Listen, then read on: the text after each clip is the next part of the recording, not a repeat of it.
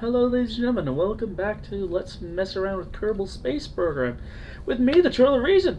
What you're looking at is a solar powered plane. This is. This is. this is amazing.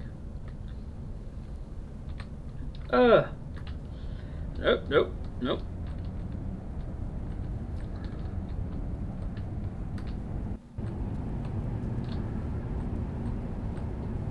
Its power, it's currently, its only motors are those two little ion engines, which can actually get this thing going for a very, very long time.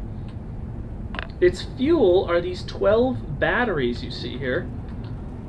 Six dorsal, six, six on the underside of the wing. Come on, come on, baby. And lock it. Control is being provided by a advanced SAS and an avionics package.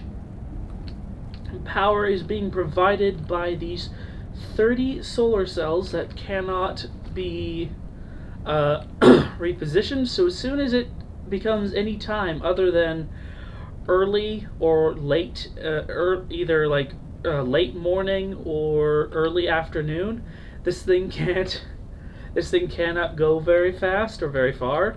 Well, it can definitely go very far, but it can't exactly. It can technically go probably uh, forever, except that it will have to land occasionally, and that won't exactly be fun. Ah! No! No! No! No! No! Oh